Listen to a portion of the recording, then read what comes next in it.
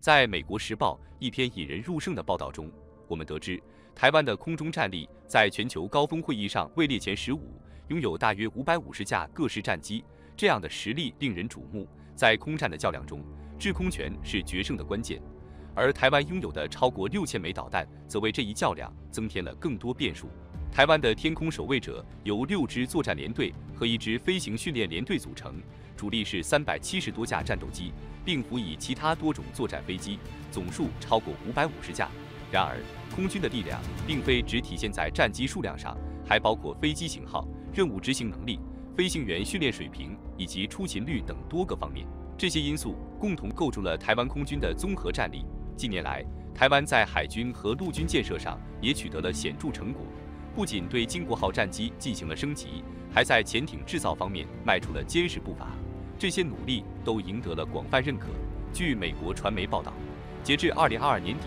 台湾空军已拥有一百四十一架 F 十六 V 战斗机。预计到二零二六年，随着美国所有 F 十六 V 战斗机订单的交付完成，台湾的 F 十六 V 战斗机队伍将增至二百零七架，从而成为全球 F 十六 V 战斗机的主要持有者之一。F 十六战斗机一直是台湾军购中的重点项目，其重要性不言而喻。根据二零一九年台湾的数据，每架 F 十六 V 战斗机的价格高达一千二百一十七亿美元，折合新台币约三十七亿元。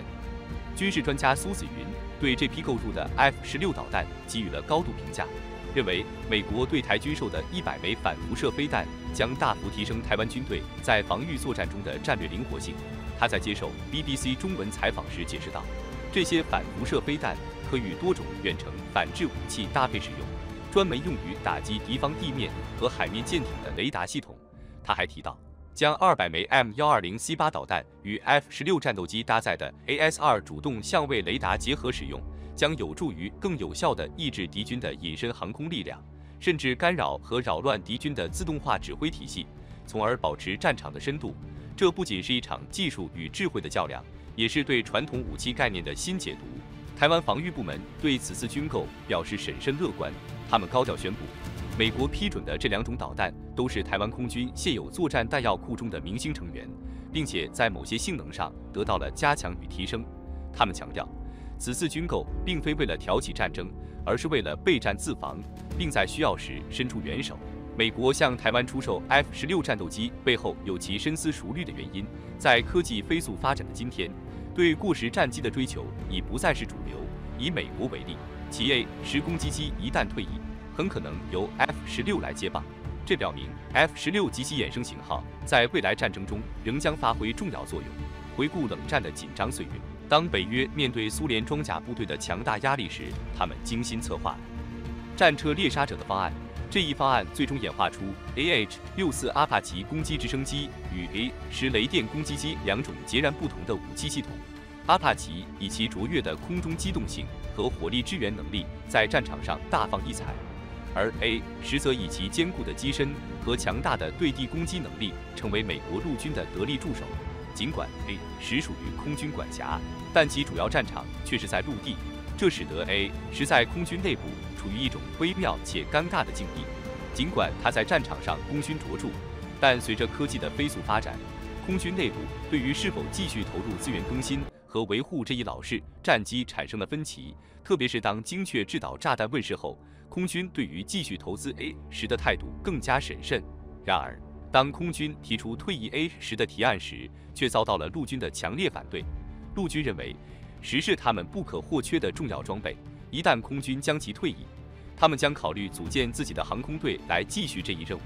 为了维持空军在固定翼飞机领域的垄断地位，空军高层开始考虑用超音速战斗机来替代 A 十。经过一系列评估和试验，他们最终决定将 F 十六战斗机进行改造升级，以适应对地攻击的任务。一九八五年，美国空军选定了两架 F 十六 A 作为试验机，计划将其改造成。专门用于对地攻击的 A 十六型号，为了实现这一目标，空军加强了 F 十六的一身结构，以便搭载更重的反坦克武器，并尝试在战机内部安装三十毫米机炮。然而，由于机炮引发的震动和炮口火焰冲击力过于强大，导致机身需要进行大规模改动。最终，这一计划仅停留在两架验证机上，未能实现量产。尽管面临重重困难，美国空军并未放弃在 F 十六上实现突破的尝试。一九八八年十一月，纽约州国民警卫队第一百七十四战术战斗机联队的第一百三十八中队开始换装 F 十六，并为他们配备了铺路爪机炮吊舱。这一吊舱内装备了经过深度改良的 J 幺三四管式加特林机炮。虽然射速降低至每分钟两千四百发，但威力却与 A 十不相上下。在海湾战争中，A 十以无懈可击的战绩证明了它的价值。它凭借强大的火力和坚固的机身，在战场上摧毁了伊拉克的众多坦克车辆和火炮阵地。A 十的出击次数累计达到八千一百次，击毁了九百辆坦克、两千辆车辆、一千二百座火炮阵地以及大量的飞毛腿导弹发射装置。其卓越的战斗效率和生存能力，使其成为了海湾战争中的空中霸主。海湾战争这场史诗般的考验，让 A 十的军事价值得到了重新审视和肯定。在执行地面打击任务方面，A 十无疑是目前全球范围内无可匹敌的战机杰作。其弹药负载能力高达七两吨，单次能够装载一千一百七十四发三十毫米弹药，足以摧毁一个完整的坦克连队。除了强大的打击能力，A 十在防护性和生存能力方面也堪称传奇。即使在机身遭遇严重损伤的情况下，它依然能够顽强地返回基地。相比之下，F 十六虽然在特定高度环境中能够维持机炮的运用，但在生存能力方面显然不及 A 十。此外，A 十六改型计划也遭遇了重重困难，无法有效平衡机炮产生的后坐力，导致射击时机身震动严重，影响飞行安全。同时，地面攻击软件的兼容性问题也频繁出现。即使借助电脑软件的辅助，也无法完全纠正飞行中的弹道偏差。最终，空军对于将 F 十六转变为十六的追求未能如愿以偿。与此形成鲜明对比的是，A 十在海湾战争后依然稳稳地服役于军界，而 F 十六作为一款备受赞誉的空中优势战斗机，其地面打击能力同样不容小觑。在美国空军的行列中，许多以空中优势为主要任务的机型。如 F 十五和 F 十六都被赋予了近距地面支援的角色，成为了专业的炸弹运输平台。F 十六在机头下方装备了二十毫米的火神机炮，不仅可用于近距空战，还可携带高达七千八百公斤的炸弹执行轰炸任务。从设计之初，F 十六就被定位为一款多功能战斗机，在载弹量、机身大小、起飞重量等方面，它以七千八百公斤的载弹量傲视群雄。远超同代机型的米格二十九，两千五百公斤和幻影两千六千公斤。在对地攻击方面，F 十六的武器选择多样化，包括自由落体炸弹、子母弹、激光制导炸弹、航空火箭及空地导弹等丰富武器库。而 F 十六 V 具有的十一个挂载点，更是奠定了其多任务执行的能力。然而，与 A 十最大的区别或许在于机炮性能，但在现代战争复杂多变的条件下。A 十的机炮或许已不再如昔日那样至关重要，甚至可以说，A 十在今天已不够适应现代战场的需求。随着威胁情况的转变，美国似乎不再像以往那样需要 A 十，而 A 十的能力也难以满足未来美军执行近距地面支援任务的需求。因此，寻求一种更为先进的机型来替代 A 十成为了当务之急。尽管美国空军多次提出退役 A 十的设想。但每次都因陆军和国会的坚决反对而未能实现。然而，最近的提议似乎获得了陆军和国会的赞同。A 十的退役似乎已成为了不可逆转的趋势。从本质上讲，A 十战斗机是专为机炮火力打造的，配备强大的翅膀和发动机，以高效摧毁坦克为目标。虽然它在防护和火力方面表现出色。但在与其他同级别敌机对抗时，其低速飞行和空战能力的不足成为了明显短板。其航电系统主要是为了地面支援任务而设计，尽管能抵御二十三毫米口径的防空炮火，但在面对空对空导弹时则显得力不从心。随着现代防空技术的不断进步，三十毫米机炮的攻击范围、精确度和防御效能已不再是决定性的因素。以 F 三五为例，其机炮弹药仅有二百发。实战中迅速消耗的情况引起了人们的质疑。美国空军曾期望 F 三五 A 能够替代 A 十的地位，但实战中反坦克导弹成为主要作战手段，这进一步引发了空军对 A 十退役的考虑。然而，在近年来的军事行动中，面对多样化的敌人，地面部队对 A 十的依赖凸显了其不可替代的地位，使其难以轻易被淘汰。乌克兰和俄罗斯冲突中，无人机的广泛使用为美国空军指明了新的发展方向。尽管有退役 A 十的计划，但其在执行近距离空中支援任务时展现出的经济性和效率仍是不容忽视的优势。然而，寻找一个合适的替代者成为了一个难题。阿帕奇直升机、F 十六或 F 三五等战机在试图接替 A 十位置时都遇到了困难，特别是直升机在挂载能力和速度上的不足。多用途战斗机在低速低空盘旋能力上的欠缺，在山区环境如阿富汗中尤为突出。美军让阿帕奇直升机执行支援任务时，由于高海拔的限制而表现出性能短板，而 A 十在这种地形中则更为出色。与阿帕奇相比，A 十速度更快，能更迅速地完成攻击任务。在速度、航程、滞空时间、适应高原的能力，在弹量以及飞行员逃生能力等关键方面。A 十都显示出比阿帕奇更优越的性能，能够直接被陆军控制。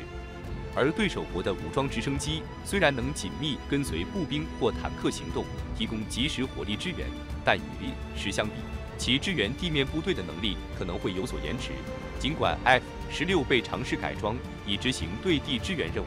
但由于其原始设计是空中优势战斗机，在超低空执行此类任务时仍面临挑战。然而，随着对地炸弹技术的进步，尤其是 F 十六开始搭载如雷达引导的 GDM 这样的精确制导炸弹后，其在执行对地支援任务方面的效果已经能与 A 十相媲美。例如，之前装备 A 十的印第安纳州维恩堡基地第十二战斗机联队，现已装备 F 十六，再次在海湾战争中展现了其多任务适应性。美国及其盟友共派出二百五十一架 F 十六。成功执行了多项任务，击毁了大量地面目标，证明了 F 十六作为多用途战机的可靠性和高效能。综合来看，认为 F 三五能够完全取代 A 十的观点确实显得过于乐观。美国空军曾对此进行了深入的比较和测试，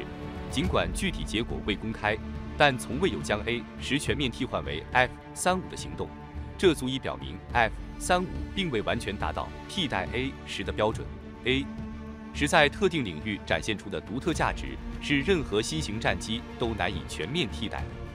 在二零一九年四月，美国空军对 F 三五与 A 十进行了对比测试，旨在评估 F 三五的地面攻击能力是否足以接替 A 十的角色。经过近一年的细致测试和比较，结果显示。A 十这款服役近四十年的战机，在某些对地攻击能力方面仍然表现卓越。尽管 F 三五搭载的二十五毫米机炮相较于其他现役战机上的二十毫米机炮更为强大，但与 A 十装备的三十毫米复仇者机炮相比，还是稍显逊色。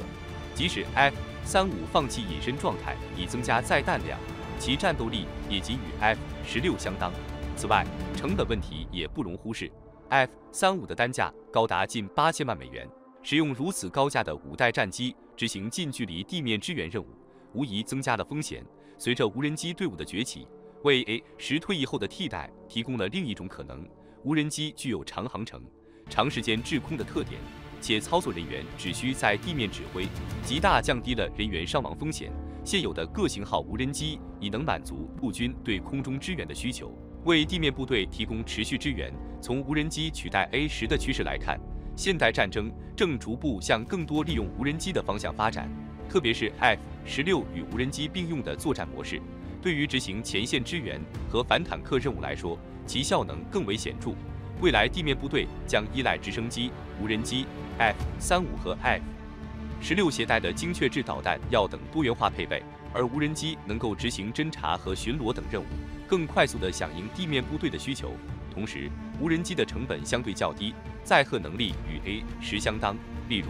，MQ 九 Reaper 系列无人机空重达到二二十三吨，最大起飞重量可达四七吨，装备有六个武器挂架，能够携带导弹和炸弹。同样，RQ 四 Global Hawk 无人机的最大起飞重量更是高达一万四千六百二十八公斤，意味着它能够携带更大的武器负载。并实现更长时间的飞行持续性。综合来看，现代战争多为小规模局部战斗，面对的是坦克和装甲车等目标。在这种背景下，A 十这类攻击机的作用或许已不如以往显著，